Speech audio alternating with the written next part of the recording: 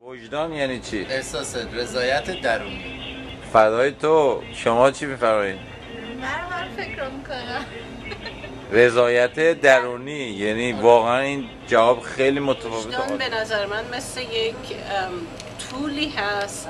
یه وسیله که ما باهاش حرکات خودمون رو می‌تونیم اندازه گیری کنیم میجر کنیم. یه وسیله که باهاش هر کاری رو که کردیم می‌تونیم محک بزنیم با وجدان خودمون. به نظر من آدم اگه بخواد بدونه وجدان یعنی چی؟ اولین کاری که می‌تونه برای خودش بکنه تا بتونه اونو درک بکنه اینه که بتونه به درون خودش نگاه بکنه.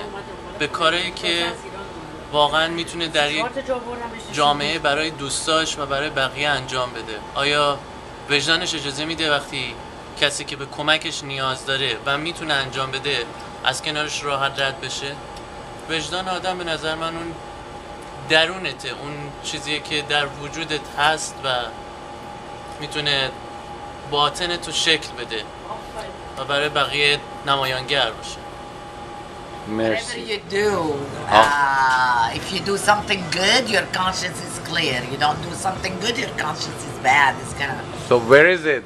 What is it? Where? It's in your spirit, spiritual world. مرسی You agree with that?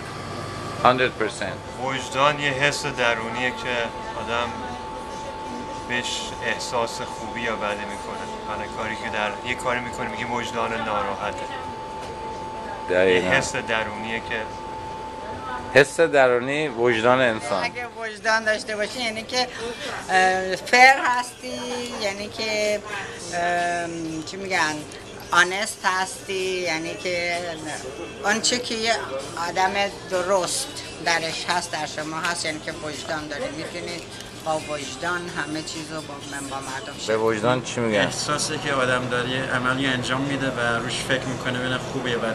جی دست در نکنه. وجدان قسمتی از وجود ماست که باعث میشه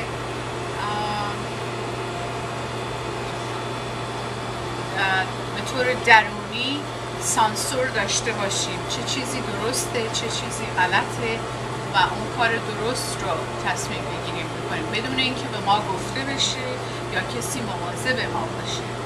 اون وجدان درونیه که برمیگرده به طرز بزرگ شدن یک نفر و افکار پدر مادر و چقدر اون انسان درست باش رفتار شده به خاطر کسانی که بهشون ظلم شده و بدی دیدن اعتمادشون رو به دنیا از دست میدن به خوبی به صفا به حقیقت به ایمان.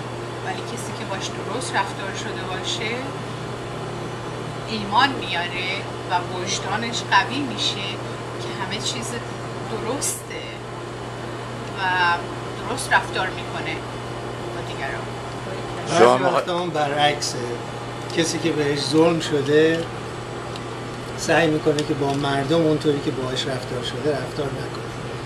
و وجدان هم می‌تونید تعریف بکنید از اینکه اون طرز تفکریه که بتونید شما مرد با مردم با عدالت رفتار کنید. یعنی همونطور که دوست دارید که مردم با شما رفتار کنن مرد شما هم با مردم. مرسی. خیلی ممنون. شاید ما به ما گفته نشده ولی وجدان از تولد تا دوازده سالگی فرم می‌گیره. نه نگفته شده. و حالا. اون موقعی است که تمام رفتاری که با ما شده و مشاهداتی که تو زندگی دیدیم.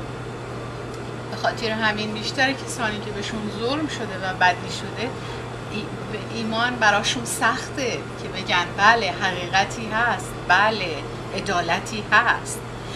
اونطوری که با انسان رفتار میشه اونطور یک نفر عقایدش رو شیپ میده. به این دلیله که میگم رفتاری که با ما شده که درس در بده مادر به خصوص برمیگرده به عدالتی که پدر مادر با اون بچه رفتار کردن و هم روی ایمان تاثیر می‌ذاره هم روی وجدان. چقدر قوی باشه. واقعا مرسی. Being present in the moment.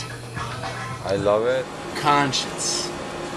uh, the way we decipher between good and evil. Your conscience. It's what kind of drives us to be good. I mean, what your conscience tells you. I guess that's one way. Do you have a definition? Um, Your conscience. well, is it? It's what separates us from animals. So we have a conscience. Animals don't have Who a I conscience. am as a person. Who you are as a person. Uh-huh. And what I believe. Okay. محکمه یه توی ذهن ما. یه داد دادگاهی تو ذهن ما. مسائل بررسی می‌کنه. این یه جواب خیلی پازیتیو. تو ذهن وجدان. شما چی میگین؟ همین دیگه تو پس ماست. تو فکر ماست. وجدان. اون چیزی که شبان روز با شما هست.